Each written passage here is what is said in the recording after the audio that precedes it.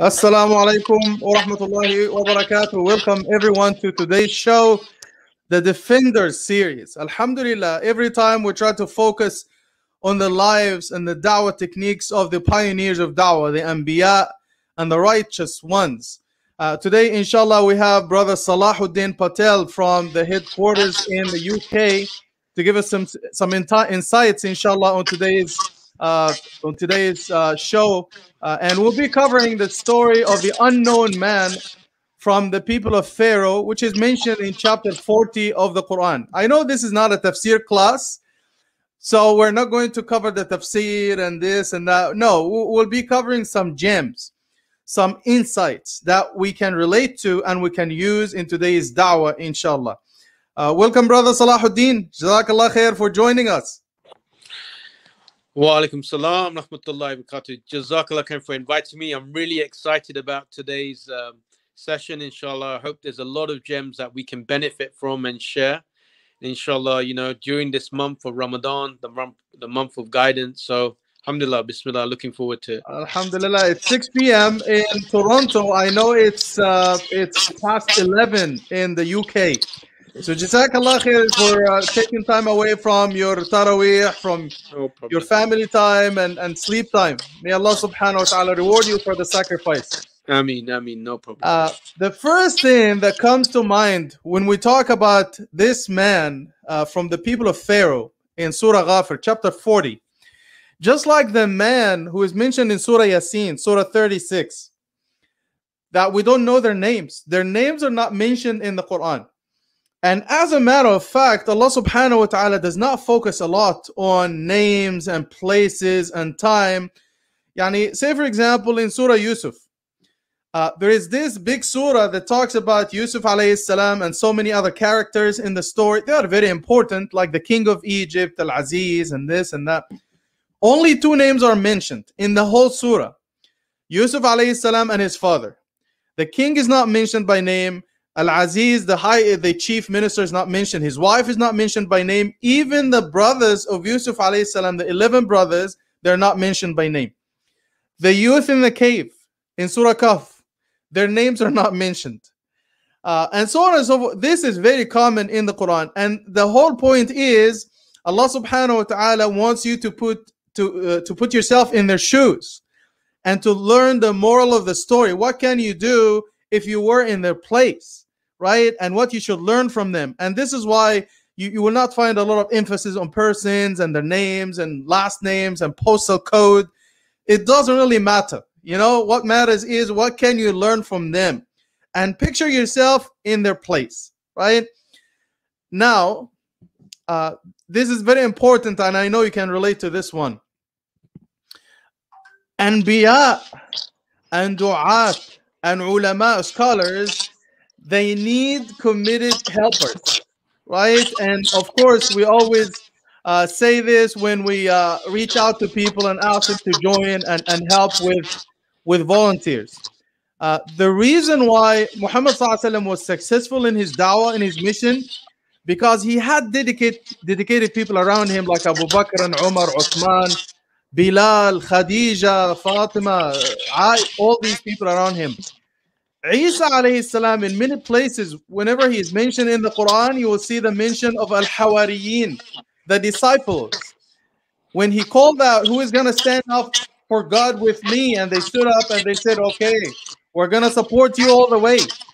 And this is why Allah subhanahu wa ta'ala says they prevailed. Uh, this is a small footnote.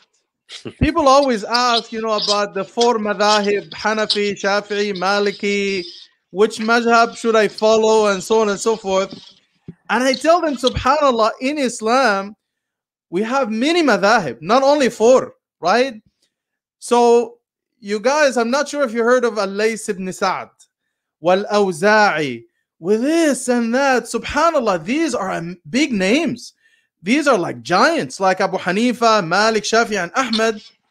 Now, subhanallah, we don't hear a lot about Al Awza'i, Al Lays ibn Sa'd, and this and that, these big, big scholars. And the ulama say the reason is because the four Imams, Abu Hanifa, Shafi'i, Malik, and Ahmad, they had dedicated helpers. students who promoted their madahib. They taught the rulings, and this is why they became very popular and they overshadowed the other imams who were as knowledgeable as these four were, right? So this shows you the importance of having dedicated helpers, people who are committed to the cause who support you. Because at the end of the day, Mustafa Khattab is one man. Sheikh Abdul Rahim is one man. Salahuddin is one man. Hamza Tzortzis is one man. Hijab, Imran. So uh, we need to unite all of our forces so we can work together to achieve our purpose, inshallah. Your comments before we move on, inshallah. Yeah, Jazakallah Karam for that opening. Alhamdulillah, that, that's really insightful. You know, first point about where you mentioned about, you know, the, the Allah keeping those people anonymous so that you can put yourself in those shoes and really understand what it could feel like and then how you can learn from that and apply it to your life. And the second point is absolutely, you know, in order to be successful in the dawah, you know, in iERA, what we focus on is, you know, motivation, education, and action. And we really need to have, in order to be successful, we're able to have all of these international outreach specialists across the world because we have a team that's dedicated. We need, you know, people from all different areas in order for us to be successful, just like the Prophet Muhammad did, just like the pious predecessors and the, the prophets had helpers and supporters. So it doesn't mean, you know, when we say that we want you to get involved in that, that you necessarily have to be on the front line. No, you could be doing something simple as, you know, taking someone somewhere, picking up some uh, distribution leaflets, you know, just uh, financially aiding, even making dua. But it's like a co- uh, combined effort, everyone together, pulling together and this is the A team, and this is you know this is the important lesson that Allah is teaching us here in the Quran. Alhamdulillah, Jazakallah khair for the insight. You know, sometimes I you know I have those conversations with my wife because you know she sees me you know you know giving dawah, translating the Quran, the clear Quran, and you know giving shahadas to people, and sometimes she would feel like jealous in a positive way like you know you're getting these rewards and stuff and i tell her it comes down to sincerity. If i'm sincere i'm gonna get some of the rewards but if i'm not then i'm not getting anything. And i told her you know you when you take care of me and the family we take care of each other when you make dua for me uh, you, know, you know most of the time i make tea for the family and you know you know cappuccino for my whatever you know, I tell my wife when I'm busy and you have to make tea for me, you will be sharing the reward. The, the reason I'm saying this, you know, subhanAllah, when you assist someone with something good, it doesn't matter, you know, your role, if it's big or small, it's significant, you know. So the, the person who, like the the person at the mosque, the, the janitor where I work, right, who keeps the masjid clean, will be sharing the reward with someone like me who gives the khutbah for Jummah. Right? And I tell them in the same way if someone is involved in something haram, yani let's say if you work with, with, with a gang or drug dealers, and by making tea for them, you'll be sharing the sin, you know. Yeah. and even when the police comes to arrest everybody in the room in the house, even if you just make tea for them or mop the floor, they will take you along. It doesn't matter if you are with them, you are with them. And if you are in the company of du'as, even if you are making something small, sending emails, even if you are helping with administrative stuff, office stuff, you'll be sharing the reward, right? Because subhanAllah, some people think, you know, you know, you guys, you sit in front of the camera, in front of the lights, and we are there in the background, you know. No, wallah, he would be sharing so much rewards. Maybe if you have the ikhlas, maybe Allah will give you more rewards if we don't have the ikhlas, right? So, and this is why Allah subhanahu wa ta'ala did not mention this, this man by name.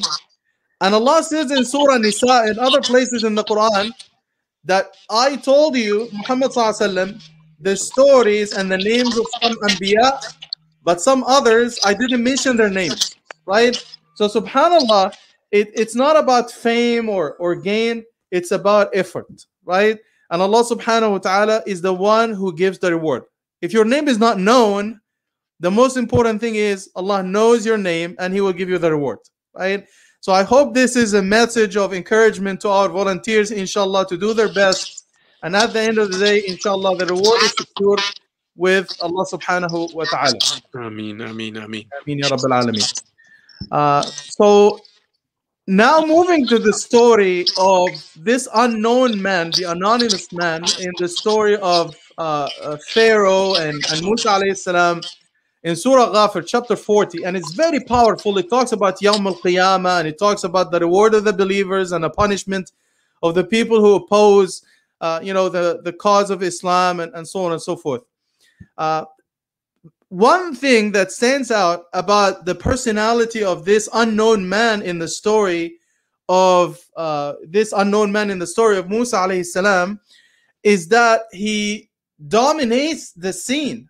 So there is a small mention of Musa alayhi salam. He's mentioned a few times, but this man dominates like two pages. As a matter of fact, the story of this particular man, his first mention, is around ayah 26 and it concludes with ayah uh, 46. So he dominates 20 ayat, 20 long ayat in this surah. So basically, he is the focus. It's he his story is the highlight in the surah, even though his name is not mentioned. Uh, he could not have come up with the arguments that he used against Pharaoh and his people uh, unless he had the knowledge to speak so you will see him using Gorab, referring to Allah subhanahu wa ta'ala. So Allah exists. He is one. He sent a prophet, Musa alayhi salam, and this prophet is supported with revelations and signs from Allah subhanahu wa ta'ala. So the four points of Gorab are used in the da'wah technique of this man. And mashallah, you can see his wisdom, you see his knowledge, and, and you see his, his sincerity in the way that he is he's he's speaking to his people. And and subhanallah uh, brother salahuddin uh, throughout the, the his talk. When he talks to the people he is calling them ya qawmi my people my own people my flesh and blood. So people can relate to them. He's not like an outsider who's coming to them you know to teach him. He's talking to them as one of them because he cares about them and wallahi, when I read this in, in this story, that he is mentioning his people, my people, my people, my people throughout his da'wah technique, it always inspires me that when you do da'wah to someone, you have to understand the people, you have to relate to them, and you have to understand the culture of the people. So you don't sound like foreign to them. No, you have to talk to them in a way they can understand. And this is why I think the uh, mashallah, the da'wah material iERA, the booklets that you guys put together, the videos, especially the booklets and the books by Abu Zakaria and the, the man in the red underpants and stuff. Because uh, before I got those, you know, uh, uh, flyers and da'wah material, mashallah, we used to get like some flyers from, you know, back home, from other countries. They were translated, broken English, you don't know what they're talking about. They can't relate to people, and and they were not really effective. You know, because as soon as people read something that is irrelevant or grammatical mistakes, structure is very awkward, or using difficult words, they're going to put it down. They're not going to finish it, right? And and so, what, what do you think of this? No, absolutely, absolutely. You know, and you see this throughout the Quran where you know the the prophets when they're talking they're talking to their people and and the and the, there's a, a wisdom behind that because you know the deen is for the whole of humanity and the most effective way to sort of spread this message is to use someone from their own community to sort of so that they can understand like you know this is not a foreign religion that applies to a different people. Look i am one of you and you know i'm telling you this is the truth right? And i'm able to uh, apply this and and live by this and become a better person. And so if i'm able to do that so you're able to do that as well. And so it's so important in today's day and age like you said the da'wah materials they're relevant they're contemporary they're using examples that people can relate to you know and, and connect to.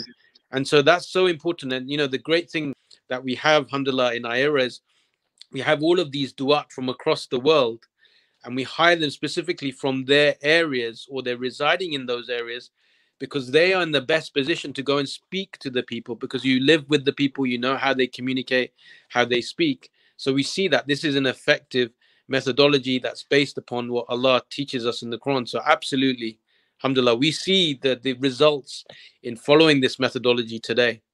Alhamdulillah. And this is very amazing. Remember back in 2018 when uh, you flew 15 imams from Toronto and, and Canada. So you didn't just say, you guys, okay, we're taking over, we're going to come and, and do da'wah here. No. You brought those imams from the US, from Canada, other parts of the world. You give them the training and they go back to utilize this knowledge. You empower them to go and do da'wah. And mashallah, this is a very effective uh, way of doing da'wah and utilizing those imams on the ground to uh, help their own communities because they can better relate to them. Uh, let me show you a passage here. Try to share my screen.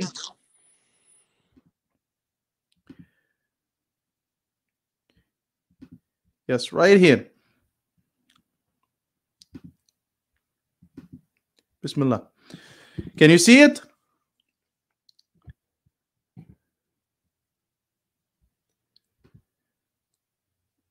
Can you see the screen? Yes, we can see the screen. Okay, that's good. Alhamdulillah. So the yellow part, the part highlighted in yellow, this is what Pharaoh said. And the green part is the dawah of the unknown man. So you see he's dominant here. He's he's talking, right?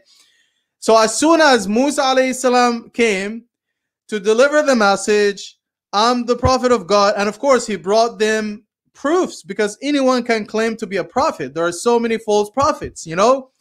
So he came and Pharaoh challenged him and he says, if you're really a prophet, you have to have a miracle, a mu'jiza. What's your proof? You know, and you know, the staff and the and, and the hand and the different miracles that he performed. And of course, as we said last time, every prophet came with a miracle that suits his own people. So in the case of, of Musa alayhi salam, the people of Pharaoh, my people, I'm Egyptian, you know, by birth, you know, they were good at magic. So when Musa alayhi salam came with the staff and the different things, something of the same kind of thing that they were good at, and he was able to beat them. So the magicians themselves, they said, "Oh, wait a minute, this is not this is not magic, man," and they submitted and they believed. Uh, the same with Isa alayhi salam. The, the people of his time, they were good at, you know, uh, uh, medicine. And, you know, when Jesus, Isa alayhi salam, he started to heal the blind and give life to the dead, they said, wait a minute, there's something else. And the same is true for Muhammad sallallahu the eloquence and the Quran and the poetry of his time. And he, when he came and he beat the poets of his time and they couldn't challenge him, so eventually, many of them submitted because they said, This is something else, man. Right? So when Musa salam came with all these miracles and stuff to prove himself as a prophet, Pharaoh said, Let me kill him. He's a liar. He, so he started using, you know, propaganda techniques and the psychological warfare. He's coming to change your traditions and the legacy of your parents and so on and so forth. And he is telling them let me kill him. He is the one who wanted to kill him, but he said, Let me, allow me. I'm asking for your permission because I'm doing it for you. So, this is what we call fake democracy, right? so, first of all, you cannot challenge Musa salam with proofs and arguments because he is telling you, you claim to be, I'm your Lord the Most High. This is what he said. No, I'm challenging you. I'm telling you that Allah is the one who created you, the one who provides for you. And this is mentioned in chapter 20, Surah Taha, and other places. Uh, what do you say about this? I'm giving you all these logical arguments to prove to you that there is there is a God, Allah subhanahu wa ta'ala, He exists, He created you, He provides for you. Eventually, He's going to cause you to die and He's going to hold you accountable what do you say to counter the, the logical arguments that I'm giving you Now, what Pharaoh said, I'm gonna kill you. what what does this prove to you, Salahuddin? This, yep, this just proves that you know he's he's lost the argument. You know, when someone um, you see this a lot actually when um, when you're sort of seeing people debating or having uh, conversations. When the person who's lost, they they resort to tactics such as you know attacking the person or putting the person down or you know using um, in diversion tactics. You know here uh, Pharaoh is using aggression. Say, let me kill him because he's got no response. He's yes, no response to the argument. He knows he's lost. Subhanallah. So it could have been much easier for him to come up with a logical argument, but threatening. I think this this proved to the people around him that he is he's helpless because if you resort to violence, it means that he cannot you know, come up with a logical argument to meet his arguments. Subhanallah. And and and of course, last time uh, you were on the show, we spoke about the uh, da'wah techniques of Musa alayhi salam and and and the diversion and the evasion of Pharaoh and so on and so forth. Uh, this is a uh, propaganda technique that some yeah. people use to to divert the conversation. So, Subhanallah, and it proves to the people behind them that you don't have an argument. Hmm. Uh, this reminds me, subhanAllah, of two people that were having a conversation, and one of them uh, said, uh, Do you think, uh, which do you think is more important, the sun or the moon? They were having like a logical debate. So the guy said, one of them said, you know that the moon is more important because it shines at night when it is dark. Mm. the sun is not important because it's already bright. We don't need the sun. what kind of logical? The reason why we have light is because of the sun, right? But all these false arguments, subhanallah, they don't lead to uh, to anything. Yes. So now, as you can see, when Pharaoh said, let me kill him with your permission. Of course, I'm doing this for you uh, because he is trying to change your well established, cherished tradition of your parents. He's talking about idol worship and, and so on and so forth.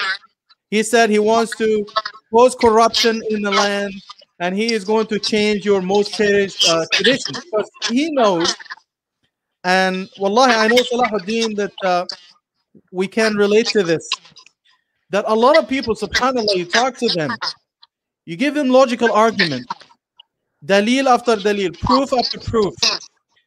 And eventually, even if your proofs are so compelling, they are so powerful, but people don't want to change because they just want to follow their parents and forefathers blindly, they don't want to change. Why? Because this is the comfort zone. They don't want to think. They just want to follow their parents and culture blindly. So wherever a, a person is born, this is what they follow. So if a person, let's say, for example, if I were born in, let's say, India, then most likely I would be Hindu or Sikh. That's it. Finished. and it, we, we, we do the online chat, right? So let's say if I talk to a Hindu person, so basically they are born into the faith and, you know, so they start to defend it. And of course, I talk to them logically. I give them dalil from the Quran, the teachings of the Prophet. And, you know, of course, the saying of the Prophet ﷺ that every human being is born upon the fitrah to believe in one God and to be a good human being and so on and so forth. But of course, the the family and the culture they change this this pure nature. And i tell this person if you were born in india then you would have been you would not have been hindu or sikh. You would have been buddhist. And you would be telling me that buddha is is god not krishna and so on and so forth uh, if you were born in morocco or egypt you automatically would be muslim because this is what most people believe if you were born in America, you would be Protestant. If you were born in Canada, you would be Catholic. If you were born in Europe, you would be atheist because this is what most people, you know, believe. So, subhanAllah, what Pharaoh here is doing basically, he's playing this card because he knows that people hate change. They don't want to change. Even if change would be for to the better or for the better, they don't want to change. And they say if it's working, why would you fix it? Just keep it the way it is. Yes. So, what would your message to the people who just follow their culture or their faith, uh, and they're not willing to to listen to you know dawah? They don't want to engage in conversation about God, His existence and oneness, and so on and so forth. SubhanAllah, I know exactly where you're coming from, Sheikh Mustafa, and exactly you know why this technique is so powerful. Because myself, you know, I come from being born into a Hindu family and and being guided by Allah Subhanahu wa Taala. I know how strong you know your identity is based upon your traditions, upon your heritage, the people you look up to as an authority. So it's always going to be a compelling argument, and we know that you know even the Prophet was giving dawah to his uncle and you know he they were there almost right there. But then the argument came well are you going to you know leave the tradition of your forefathers? You know? And of course that was such a powerful thing. He said no no i can't leave you know because it's an emotional attachment it's identity it's heritage it's all of these emotions combined. And so it's important that you know when you're thinking about islam and you know um, you're you're talking to people about this that you really empathize from that perspective. You know what would it be like if you were born like you know say i sometimes i use this example in the dawah that you know say you're a um you went and you spoke to a christian priest for some reason you know and it's just for an argument and then you decided to embrace christianity how many of you could go home and tell your parents you've embraced christianity no one could do that right so it's no different from a person coming from a different faith especially islam in today's day and age. So it's important to reassure the person that look, we understand, you know, that it's not easy, you know, your parents, your her- heritage, but at the end of the day, you can't deny truth, right? At the end of the day, you're going to lie to yourself if you understand that logically and rationally makes sense that there's only one God. This God, you know, is the only one worthy of worship that the Quran is the final revelation, it is guidance for humanity, and the Prophet Muhammad is the last and final messenger in a long line of messengers. You come to that realization, then you're just really lying to yourself. And at the end of the day, you know, you can't deny that, you know, we're going to die. That's a fact of life. You know, like they say, death and taxes, right? These are facts of life. So you're going to meet God eventually. So you can put it off for now. So I think it's important to sort of empathize with the person, but also tell them at the end of the day, God Almighty is the authority, and also to reassure them that if you take this step, don't worry. You don't need to tell anyone. You know, you can keep it private, ponder over it, and understand that God is the one that's going to look after you. Put your hands into the, you know, put your trust into the hands of Allah subhanahu wa ta'ala, and you will see that, you know, things will work out. And you can give them many examples like all of the companions of the Prophet they were all reverts to Islam, right? And they had to uh, the the troubles that they had with their families, and even today, contemporary examples you can use. So it's important to show that this argument is a false argument, but also to reassure the people that you know that um, uh, we we're here to help and support them. I uh, totally agree with uh, sympathizing with uh, with the person and putting yourself in their shoes. I got a comment here from uh, brother Yusuf. He's saying if uh, you can use like a headphone to uh, minimize the echo. Alhamdulillah. I'm using my phone, so I'll put myself on mic when I'm not speaking. Uh, khair. You know, one thing about the people of Mecca at the time of the Prophet ﷺ, they knew that Islam is not only about taking the Shahada because when they're asked, even in the Quran, who created the heavens and the earth and who provides for you, they say Allah. They have no question. Tawheed al like Allah is our Lord. They had no problem with that. But what comes with it is, is really what worried them. Because uh, you have a family, you have friends, you have work, and also halal and haram, do this, don't do this. So, uh, our brothers and sisters who do da'wah, when you do da'wah to someone and you give compelling argument and so on and so forth, and you see the person hesitant, you have to understand the whole picture that this person is not only saying the word, it, it's what comes with the word that you know that matters to this person because now they see the whole picture they know their family their circumstances and eventually at the end of the day we deliver the message we talk to them we plant the seed and it's up to allah subhanahu wa ta'ala to give them hidayah. Some people wallahi from personal experience you do da'wah to them and subhanallah they take shahada like 10 years later. So there is no need to push anyone you just give the logical arguments dalil proof from the Quran, give them dawah material, and khalas, you have done your part. And and the Prophet ﷺ is told the same in the Quran. And as a matter of fact, other prophets are told the same thing. Your job is to convey, deliver the message. What comes after is the, the, the duty of, of Allah subhanahu wa ta'ala. If Allah subhanahu wa ta'ala sees that a person is fit to be guided, Allah subhanahu wa ta'ala will open the door for them if the person is sincere in the pursuit of faith and iman, Allah will guide them. But if the person is playing games, then Allah subhanahu wa ta'ala, uh, it's, it's in his hands. So now speaking of this man, the unknown man uh, from the people of Pharaoh, uh, subhanallah, the first thing that he said, because in the previous two ayat, uh, Pharaoh said, let me kill Musa, let's kill his own people, and so on and so forth. So the, the first thing that this man said, would you kill a man for just saying my Lord is Allah? He is telling them, have you lost your mind? Why would you kill someone for just saying my Lord is Allah? And this is in Ayah 28.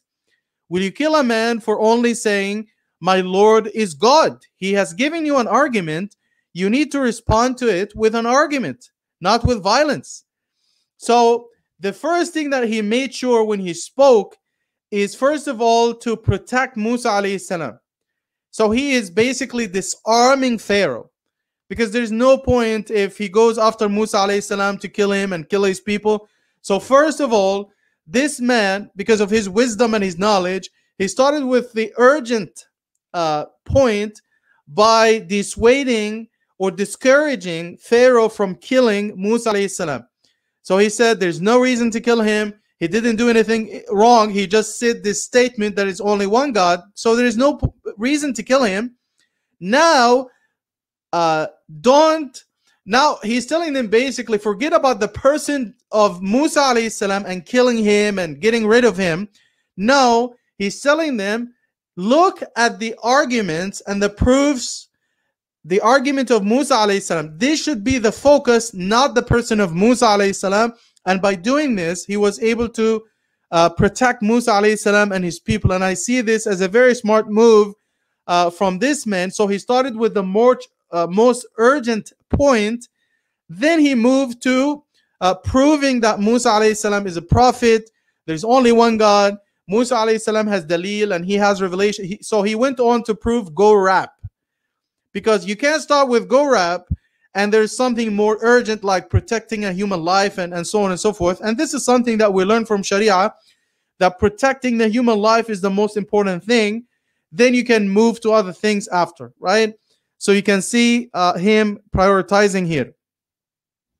Uh, so he is saying, forget about Musa alayhi salam. Let's focus at what Musa alayhi salam is saying. Let's focus on his dawah. Let's go through his logical arguments. And he is saying that there are there are two things about the dawah of Musa salam and what he is saying, his message. He is either a, a liar or he's telling the truth. There's no other, you know, option. There's no other thing, you know. So there are only two options. He is either a liar, and if he's a liar, then he will be doomed. You don't have to worry about him because liars will end up in destruction. They will self destruct by contradicting themselves and so on and so forth. But he, if he's telling the truth, you guys will be in big trouble. So he's using uh, this uh, logical argument. So, what do you think of his dawah techniques and the GORAP? Subhanallah. Yeah, absolutely. In fact, you know, this is um, uh, we use a very similar argument when it comes to the talking about the Prophet Sallallahu was he was he liar, deluded, or was he telling the truth, right? Yes. And so exactly the same thing here is being used, subhanAllah, by this anonymous man to defend, you know, who Musa is. And if you follow, you know, the argument, then it basically leads to only one conclusion. He's telling the truth, yes. right? So, so absolutely, very powerful. This is again part from the GORAP. Alhamdulillah. Alhamdulillah. And you know, the ulama of tafsir, when they do tadabbur on these ayat, they see this man was very smart. And you know, this style is used in many places in the Quran, like the story of Yusuf alayhi salam when he was falsely accused by the wife of Al Aziz and his shirt was torn. So the, the witness who came forward and he says that if the shirt, this is the first point that he made, if the shirt of Yusuf alayhi salam is torn from the front, then she is telling the truth and Yusuf is a liar. But if it's torn from the back, then Yusuf is telling the truth and she is lying. But he is starting with the point that says that the, the wife of Al Aziz is telling the truth and maybe he is lying. He's making this point because if he said, if the first thing that he said, she is lying and he's telling the truth, they would have said, How much did he pay you? Why are you taking his side? So he started, you know, by giving an argument for the wife of Al Aziz and an argument against Yusuf alayhi salam. And in the same way, this, you know, this da'i, the unknown da'i from the people of Pharaoh, he is saying, if Musa alayhi salam is lying, then he would be doomed. Because if he said, if he's telling the truth, you guys would be doomed, they would say, okay, why are you taking his side? Why are you defending him? No, he is speaking about Musa alayhi salam first He's saying option number one, if he's lying, he is self, you know, he will be self-destruct. He's dooming himself. But number two, if we prove to you that he is telling the truth by virtue of all the proofs and all the arguments that he has provided, then the only logical argument that will follow is that he's telling the truth. If you guys deny him, you will be destroyed. If you follow him, you will prevail and, and you will succeed, right? So the ulama of Tadabbur al-Quran, they say that this man is very smart. He is prioritizing and he knows what he's talking about. He's not just talking like random stuff.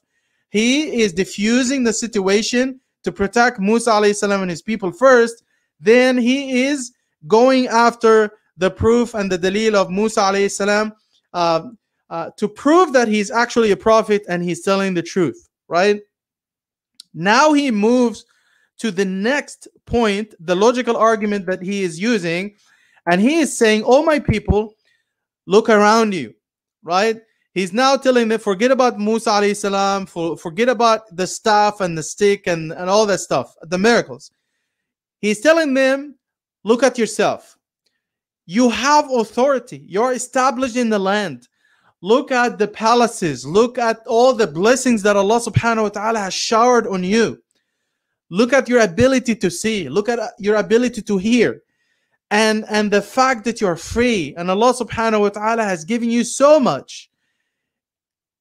How do you respond to all these blessings of Allah subhanahu wa ta'ala? Because you evidently you didn't create yourself. Evidently, you didn't bless yourself with sight and hearing and your heart beats, the sun and the you didn't create these things who created them? It has to be Allah subhanahu wa ta'ala. Now, how do you respond to these blessings of Allah subhanahu wa ta'ala? If you didn't create these things, someone else created them. What about this someone else? Doesn't he deserve your gratitude? Doesn't he deserve your worship? So we established that rububiyatullah, that he exists and he provides for you, he created you, he gave you all these blessings. Now tawheedul uluhiyya, doesn't he deserve your worship? So now he is going into GORAP and he is directing them to the existence of Allah subhanahu wa ta'ala and his ability and his power through the blessings and the creation of Allah subhanahu wa ta'ala. And I think this is a very logical argument, especially when you talk to atheists who let's say deny the existence of Allah subhanahu wa ta'ala and they say that you know this world came from nothing and it made itself and it it doesn't make sense to me. Like uh, I know uh, brother Salahuddin and, and the other brothers in the UK and the outreach specialists throughout the world when especially in the west you know uh, in canada in the us in the uk in europe in general you oftentimes you come across a lot of atheists uh, whereas in africa in asia in the philippines and uh, in uh, in other places you don't come across uh, many uh, atheists in those countries so why do you think you know atheism is on the rise in, in the West in developed countries, uh, Brother Salahuddin. Yeah, Bismillah. Yeah, yeah. As you know, atheism is is, is a growing um, belief system across the world, and it emanates from the West. And really, if you look at the history of it, there's two main reasons for it: is the decline of Christianity in the West, and secondly, the rise of sort of scientism. And it's almost like scientism has replaced Christianity as a sort of a, uh, as an authority of truth. So where when we talk about you know the study of knowledge and and where do we find truth from, they've taken science today as the yardstick for truth. So every truth has a sort of philosophical naturalistic explanation. So anything supernatural cannot be accounted for in that understanding of a science because it's based upon you know the five senses essentially and induction and so this is the propaganda this is the narrative this is what's being promoted and then all of the ideology all of the sort of um, understanding of how you should live your life what the purpose of life is you know yolo you only live once. Uh, there's fomo now uh, which is fear of missing out the new one that the youth are talking about. And it's all because of this idea that there is no god. We can explain things science can explain everything everything has a naturalistic explanation. And then if you have that understanding then there's no accountability right? Without god there is no accountability for your life really. And so unfortunately this is what's being promoted in the west you know materialism uh, and egocentrism.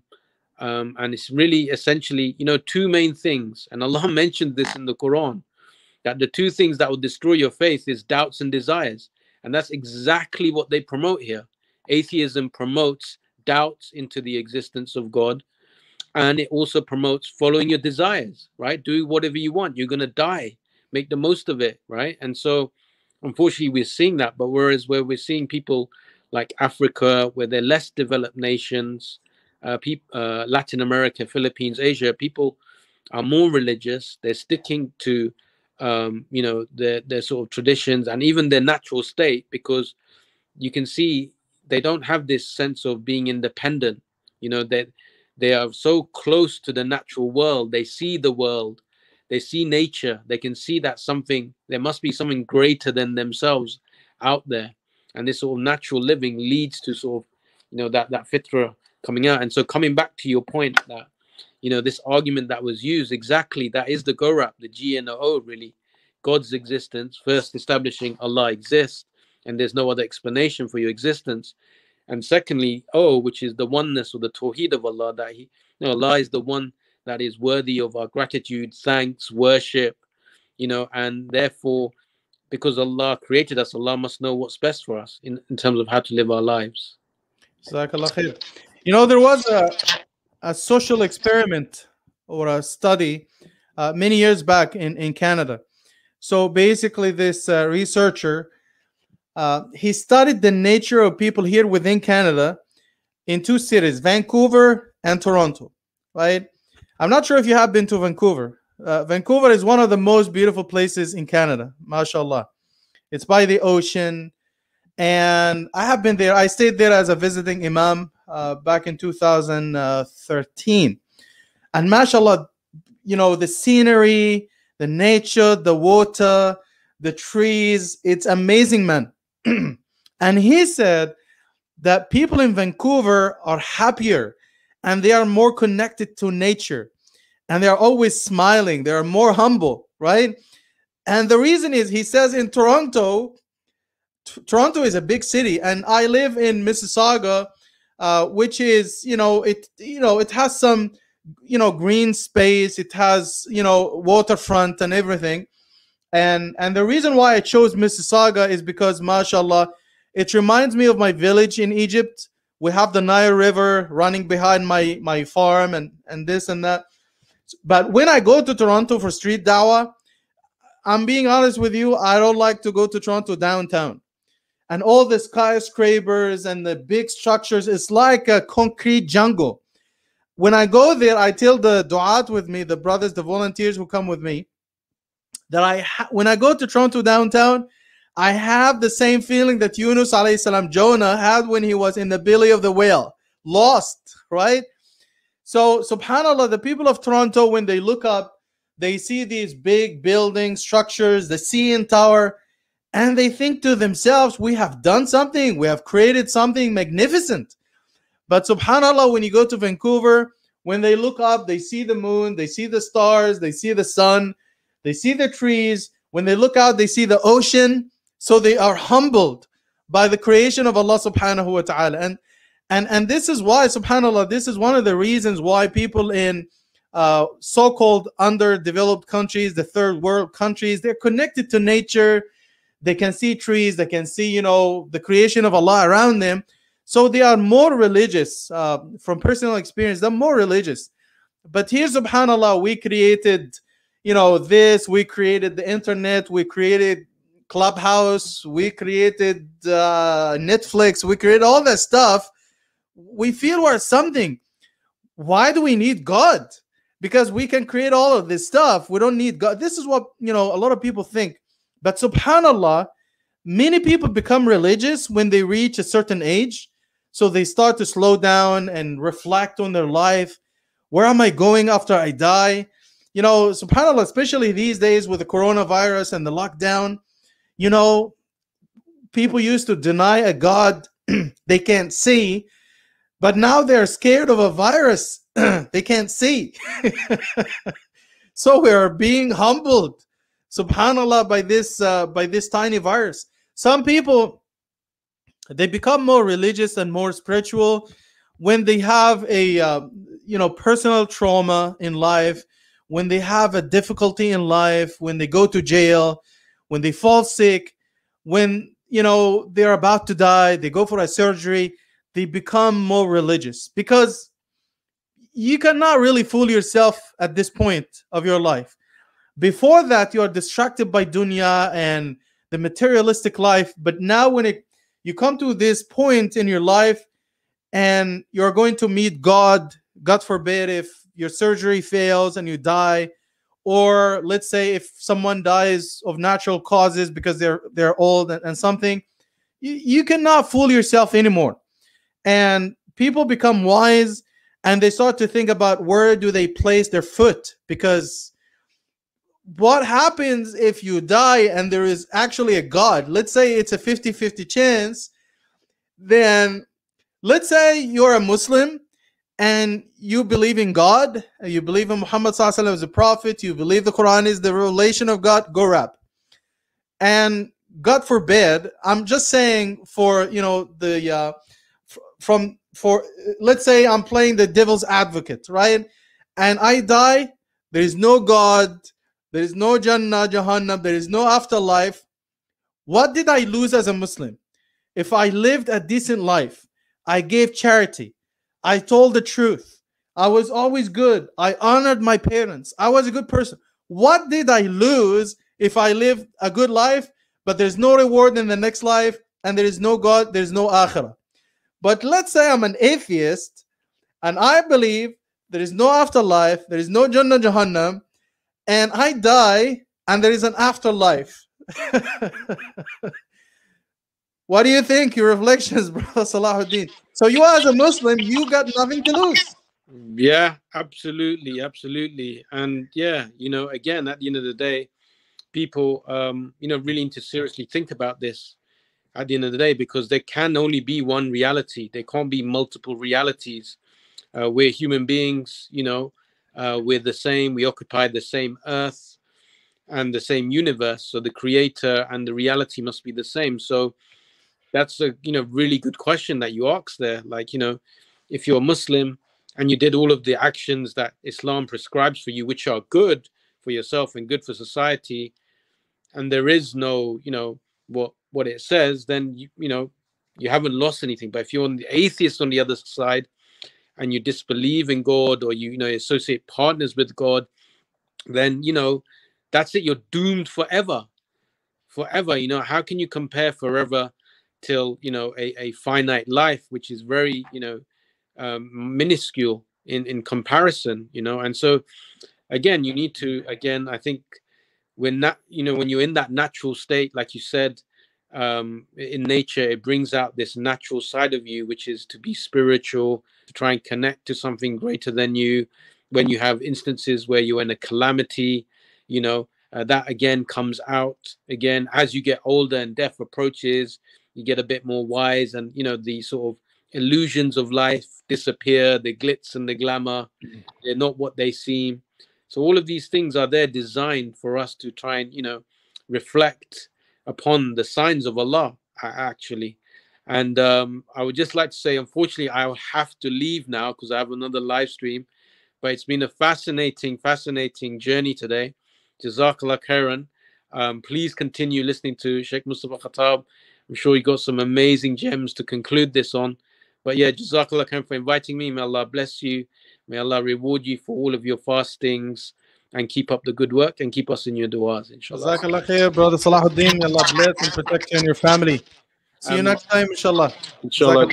Ramadan Mubarak. Assalamu alaikum. So, as we're saying, some of the ulama, some of the scholars say, Subhanallah, show me one thing that Islam asks you to do that is bad for you. Think about fasting. Is this bad for me? A lot of atheists, a lot of non Muslims, they fast for physical reasons. But we do it, yes, for the physical reasons, but most importantly, for the spiritual reasons and the spiritual benefits of it. If you pray, if you give charity, if you help the poor and the needy, if you honor your parents, if you're honest when you tell the truth, I, as a Muslim, am doing this because I'm expecting the reward from Allah subhanahu wa ta'ala. I'm doing this because I care about the creation of Allah subhanahu wa ta'ala. I worship the creator and I honor the creation.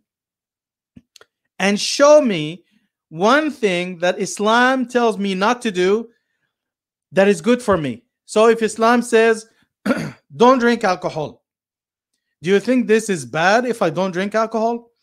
If Islam says don't smoke weed, do you think if it's bad for me if I don't if if I don't smoke weed? If Islam says don't eat pork, do you think it is bad for me if I don't eat pork? So subhanallah, every single thing that Islam teaches, it is for a wisdom, it's for a divine wisdom. And Allah subhanahu wa ta'ala is telling you, do this because it's good for you. He's telling you, avoid this because it's bad for you. Subhanallah. And a lot of people have come to Islam through this door. I have a friend from St. Catharines here in Canada, and he is one of the editors of the Clear Quran. And he said before he became Muslim, he started to look into different religions. And he said, You know, I'm going to read the scripture because if there is a, a, a, a religion or a faith, you have to look at the scripture the divine revelation of this faith and try to put into practice because God does not talk nonsense. He has to talk common sense, and the teachings have to be practical. And he said he went into different faiths, trying to understand the teachings and also trying to put the uh, the commandments of the faith into practice.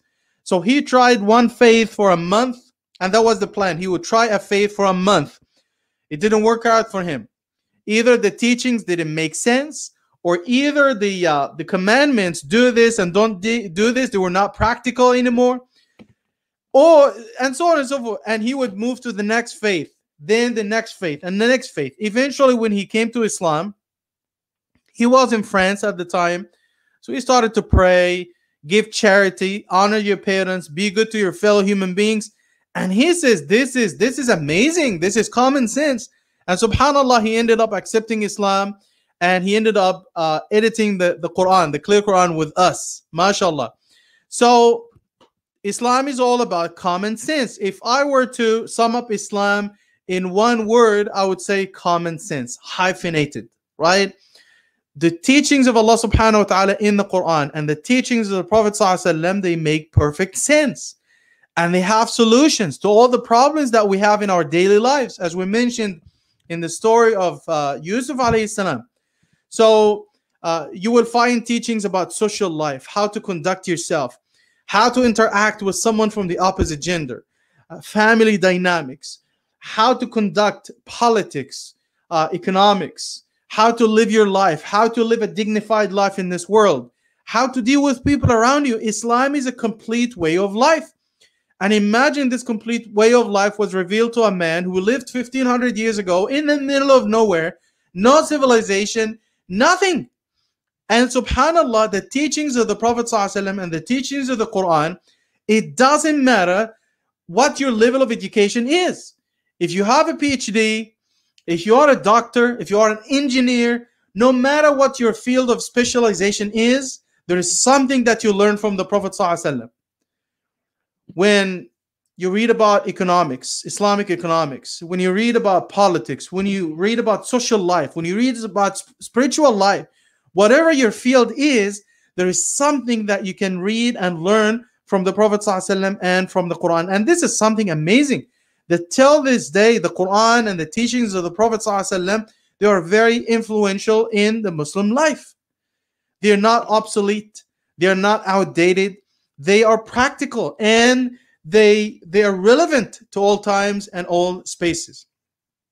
So now going back to the story of Pharaoh and this unknown man from the people of Musa alayhi salam, from the people of Pharaoh, he became a believer with Musa alayhi salam. Pharaoh looked, looked around and he saw the pyramids and he see, saw the obelisks and all these big monuments that they built. And he said, dude, we have done something. Look at the palaces, look at the temples, look at the pyramids. We have done something.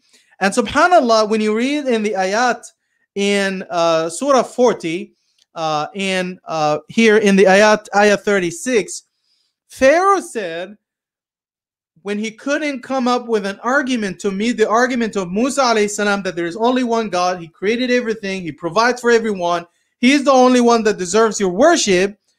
Pharaoh said, Haman, and Haman is basically the chief architect for uh, Pharaoh. He used to work for Pharaoh as the chief architect and and basically nobody knew historically who Haman was and this was unknown to the previous generations and subhanallah it, it's mentioned in the quran that haman was the chief architect and that was his title basically haman is the chief architect. Just like pharaoh is the is the title of the ruler of egypt at the time. So it was only about 200 years ago when the Rosetta Stone was found and Chamb uh, the guy who deciphered, he was able to decipher the, the, the writings on the Rosetta Stone. Eventually, uh, there was a great breakthrough in Egyptology, and they were able to decipher and to translate hieroglyphics, the uh, ancient Egyptian language. And eventually, they found out that Haman was the chief architect, and that was in line with the teachings of the Quran. This knowledge was not known before. So Pharaoh said, Okay, build me a high structure so I can go up there and look up and see if the God of Musa exists or doesn't exist, even though I'm sure that Musa salam is liar and God doesn't exist. Right? Subhanallah. And it's amazing. It's amazing that every time someone is proud of something, Allah subhanahu wa ta'ala destroys them because they are arrogant. Allah would destroy them with the very thing they were very proud of and they were very arrogant because of. So Pharaoh, he said in the Quran, in other places, uh, look at the branches of the, the river, look at the streams of water that are running through my kingdom. He said, look, at all these streams, the branches of the Nile River that are running through Egypt and so on and so forth. And at the time of Egypt, historically, there were different branches of the Nile. Now we have two, uh, Dumyat and Rashid. You know, this is like the, the Nile River. So you have Dumyat and, and you have Rashid, these two. In the past, before they built uh, the dam in uh, Aswan in Egypt, they used to have so many branches and the flood and, and so on and so forth. So basically, Pharaoh said, Look at all the water that is running through my kingdom. So, subhanAllah, what happened? He drowned. The very same thing that he was proud of, eventually it became the tool for his destruction. When you look at Korah, who was from the people of Musa salam, and he became very arrogant because of his wealth, because of his money, and so on and so forth. And he said, Innama utitu ala ilmin indi. I'm a smart guy. I'm very knowledgeable. And look at my wealth. And he became arrogant because, because of his wealth. And eventually Allah subhanahu wa ta'ala in Surah 28, Surah Qasas, فَخَسَفْنَا بِهِ وَبِدَارِهِ الْأَرْضِ We caused his palace to swallow him up. So his palace and his wealth swallowed him up and he was destroyed because of his wealth, the very same thing that he was proud of. When you look at uh, Shaitan, Iblis in the Quran, when he was arrogant with Allah subhanahu wa ta'ala, and he said, I'm not going to make sajda to Adam. He is created from mud, I'm created from fire. there's no way in the world I'm going to make sajda to him. Dude, look at the angels. They are higher than you in rank. They were created of light, and still they made sajda to Adam as, as their way of showing respect to uh, the command of Allah subhanahu wa ta'ala, they were not worshipping Adam. And in the same way, the brothers of Yusuf alayhi salam and his parents, they made sajda to him. They bowed down before Yusuf alayhi salam to show respect, not to worship him. In our faith, in Islam, in the Sharia of Muhammad sallam, we don't make sajda to anyone. We only bow down to Allah subhanahu wa ta'ala. We don't bow down to another human being. So Pharaoh was very arrogant because of his, uh, you know, origins. He, he was very racist with Adam alayhi salam, and he said, "No, I'm not going to bow down to him because I'm created from fire. He's created from mud." And we are told in the Quran that Shaitan will suffer in hell because of his arrogance with Allah Subhanahu wa Taala. Why? Because he was arrogant because of his origins, fire. He will be punished in the fire. So, Subhanallah, this is very common in the Quran if someone says, Oh, look at me, who are you? I am this, I'm that, you know. So subhanAllah, Allah subhanahu wa ta'ala will destroy them with the very same thing that they became proud of and arrogant for. So uh, subhanAllah, uh, continuing with the story of uh, this unknown man from the story of Musa salam in chapter 40, uh, as you can see, I highlighted here with the arrows, with the red arrows. So you see here one, ayah 29. This unknown man is saying, Oh my people. Ayah 30, Oh my people. Ayah 32, Oh my people. Ayah 38, Oh my people. Ayah 41, Oh my people. Several times he is talking to them because he cares about them. He is telling them, you have this prophet who came with logical arguments and he came with the miracles to show you that there's only one God to worship and he is not a liar because of this and this and this. And Allah subhanahu wa ta'ala has blessed you with so much. You need to be grateful for that. And you need to direct your worship to Allah subhanahu wa ta'ala, not these powerless, powerless idols who cannot help you and who cannot defend you. And he's telling them, let's say if Allah subhanahu wa ta'ala were to take away the blessings, and if he were to destroy you, do you think that Pharaoh can defend you? He's saying basically no one can defend you, not Pharaoh, not your powerless gods or idols. It's only Allah subhanahu wa ta'ala who can protect you. So he's giving all these, you know, uh, logical arguments and rational arguments to prove that there's only one God he exists. He's worthy of your worship. Musa salam is a prophet. He's supported with evidence. He's supported with proof. He's supported with the miracles. And this is why you need to believe in him. And he is saying basically, Allah is your Lord, not Pharaoh, who falsely claims to be your God. And he is saying that Musa alayhi salam didn't come up with something new. He is not faking. You guys, fellow Egyptians, you know that Yusuf alayhi salam lived here generations and centuries before Musa alayhi salam. He was a prophet. Many people followed him and they believed in his message, his message of Tawheed. When he rejected the belief in multiple gods and he promoted the belief in one God and many people believed in him. And he said how despicable it is in the sight of Allah subhanahu wa ta'ala that you should worship somebody else and reject all the proofs and all the dalil for the oneness of Allah subhanahu wa ta'ala, the existence of Allah, the prophethood of Musa alayhi salam and his revelations. And again, this is the dawah technique that iERA uses. The uh, belief in the existence of Allah subhanahu wa ta'ala, God, that He is one, uh, Muhammad sallallahu is a prophet, and he's supported by revelations. GORAP Godhood, the existence of Allah subhanahu wa ta'ala, his existence, and that the fact that he's one, and Muhammad sallallahu is a prophet, and the revelations of Allah subhanahu wa ta'ala. GORAP. So this da'i from the people of Pharaoh, he's using the same techniques, and he's saying that it is despicable. It's illogical that you reject all these rational arguments for the existence of Allah subhanahu wa ta'ala and the oneness of Allah subhanahu wa ta'ala. And that Musa is a prophet, even though he came up with so many proofs and so many dalils. You guys have no proof to back up, to support what you're saying. You have no proof or argument to challenge Musa alayhi salam. So Pharaoh responded, first time Pharaoh, this is argument. I only show you, I'm telling you only what I believe, and I lead you to the path of guidance. Okay, just empty words. His second argument, oh Haman, build me this structure so I go up and look, and I'm sure that God doesn't exist.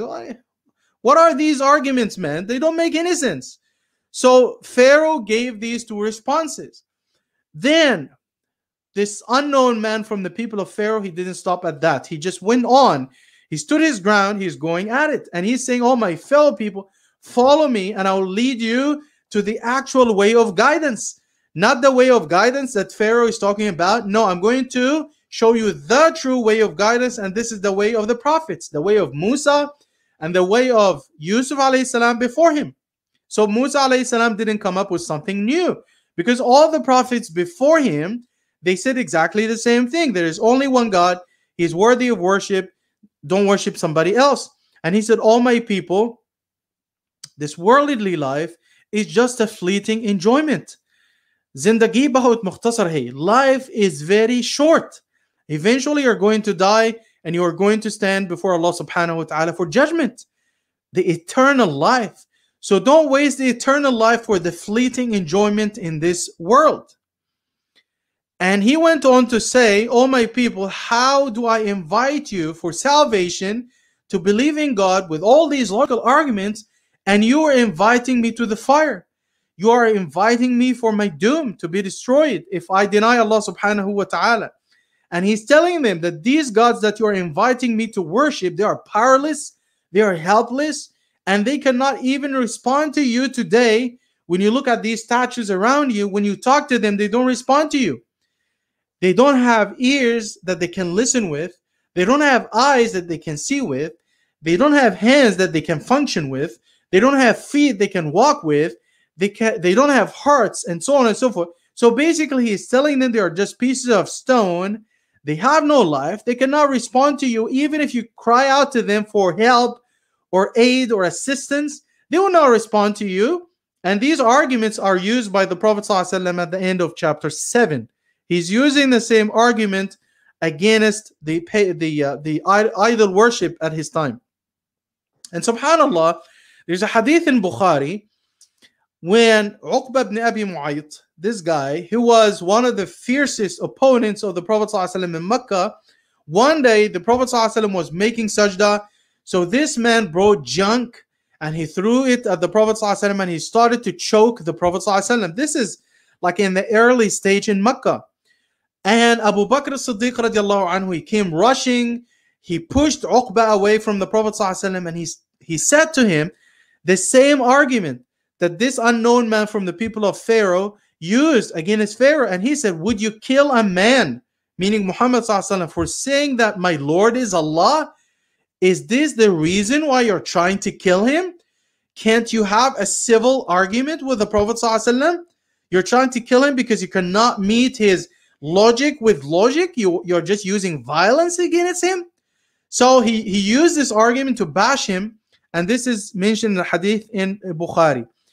And at the same, uh, you know, at the end of his logical arguments, he's telling them the day will come when you guys will, you and I will stand before Allah subhanahu wa ta'ala. فَسَتَذْكُرُونَ مَا أَقُولُ لَكُمْ وَأُفَوِّضُ أَمْرِي إِلَى اللَّهِ You will remember what I'm telling you now when we stand before Allah subhanahu wa ta'ala for judgment and I trust my affairs to Allah because He knew that they are not going to leave Him alone. And they say in the books of tafsir, they tried to kill Him several times, but eventually Allah subhanahu wa ta'ala saved him because he trusted his affairs to Allah and eventually, the response of Allah subhanahu wa ta'ala came in ayah 45 after 20 verses of arguments, right? So God protected him from the evil of their schemes because they tried to kill him, and Pharaoh's people were overwhelmed by an evil punishment. They were destroyed, they drowned, and eventually Allah subhanahu wa ta'ala says, as soon as they drowned as soon as they were overwhelmed by the waves you know the story when musa salam split the sea and, and you know the story musa salam and his soldiers they drowned and as soon as they died they ended up in the fire in their graves. And allah subhanahu wa ta'ala says they are now exposed to the fire in their graves morning and evening. And on the day of judgment and when the hour will be established they will be exposed to the fire and they will be punished. And the ulama say that this is a dalil, this is a proof uh, for the existence of the uh, punishment and the reward in the grave. And subhanAllah, ayah 47 and ayah 48, Pharaoh and the elite of his people, these, you know, chief deniers who were opposing Musa alayhi salam, they were persecuting the believers, they were persecuting Musa alayhi salam on judgment day, they would be crying for help, they would be running away from each other. And subhanAllah, the weak those who followed their leaders blindly, they would be crying and they would be reaching out to their leaders in the fire and they were telling them, We followed you. You had no argument, but you guys convinced us with your force, with your power to follow you. So we followed you blindly. So now stand up for us, do something to protect us. We were following you blindly because we put our faith in you. Stand up and say something. And subhanAllah, they will not be able to defend them and the arrogant will say, Ayah 48, we are all in it. We're all in this together.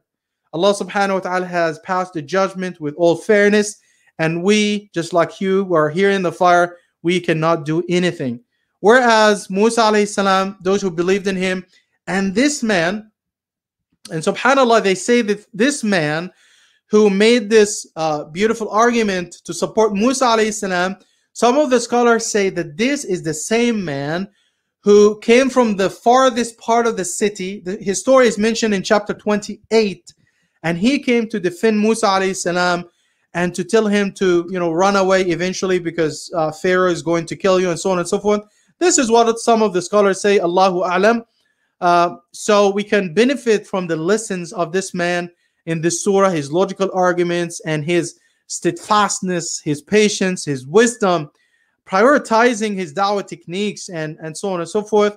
So we ask Allah subhanahu wa ta'ala uh, to give us beneficial knowledge, and we ask Allah subhanahu wa ta'ala to gather us together with the prophets and the righteous on Judgment Day. And inshallah, I'm going now to open the floor for questions and answers. If someone has a question, inshallah, uh, we have a few more minutes.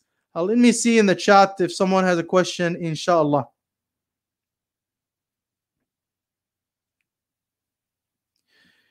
Yeah, I don't see uh, I don't see any questions uh, per se. They're all comments. Uh, Jazakallah khair, uh, brother Ismail, Rawia, sister Rawia, brother Tamimi, Brother Yusuf, Sister Rawia, Rayan, Ismail, uh, Lala, and many, many, many other Badal uh, for your comments. If we have a non-Muslim or someone who has a question, inshallah, please, uh, you can ask. I'm going to stick around for a couple of minutes, inshallah. If not, then we'll conclude with uh, dua, inshallah. It's almost time for, uh, uh, we have a little bit till uh, Maghrib, inshallah. So we ask Allah subhanahu wa ta'ala to bless and protect you and your families. Uh, I don't see questions. So again, my uh, my advice to you, inshallah, read the Quran, try to learn from the giants, the prophets, and the pioneers of da'wah in the Quran, so we can learn from their technique. And as you can see from my sessions and the sessions of Sheikh Fahd Tasleem, and that there's always an emphasis on GORAP in almost all the sessions. All the prophets use the same technique. There's a God, God exists, this God is one. The prophet is supported with revelations because he is from God, and so on and so forth. The GORAP that we use at iERA to prove to prove Islam, inshallah. And this will will be a good foundation for uh, your dawah.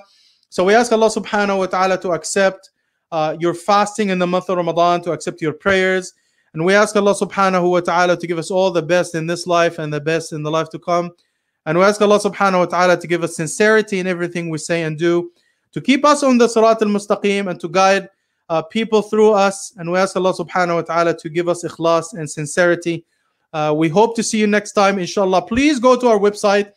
If you're if you can volunteer and uh, get the training, the GORAP training to be able to do dawah, to join our uh, team, inshallah, to uh, to help with the dawah effort as a volunteer, to help with the online chat. Alhamdulillah, go to our website, iera.org, and inshallah, uh, register to be, to get the training.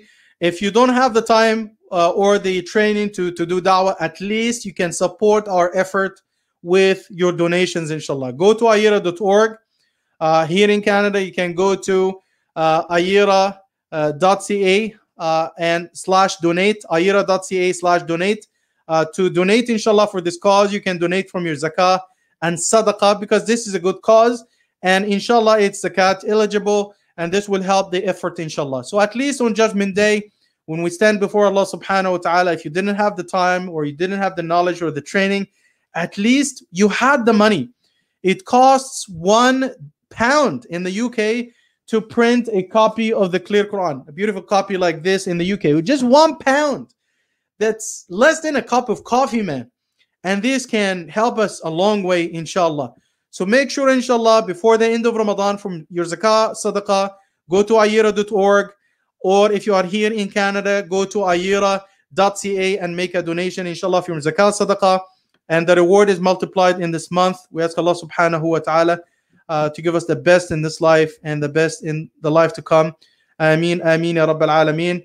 And for those who are asking about a good translation of the Quran, again, uh, I, I, recommend my translation. There are so many other uh, ones, but uh, this one is is is a good tool for dawah. It's made with non-Muslims in mind. It's easy, accessible, and so on and so forth. And for more uh, dawah materials, you can go to our website, inshallah, or you can go to iera.org, or you can go to onereason.org. There are free dawah material. You can read them to empower yourself to be able to uh, present Islam with logic uh, and with rational arguments, uh, with compassion and wisdom. And this is the way of the prophets. قُلْ هَذِهِ سَبِيلِي أَدْعُو إِلَى اللَّهِ عَلَى بَصِيرًا Allah subhanahu wa ta'ala is telling the Prophet ﷺ at the end of Surah Yusuf, Surah number 12, This is my way, the way of Islam. I invite all to the way of Allah subhanahu wa ta'ala with basira. And basira means knowledge and wisdom and insight. So we hope to see you next time, inshallah. Jazakallah khair for watching. Wassalamu alaikum wa rahmatullahi wa barakatuh.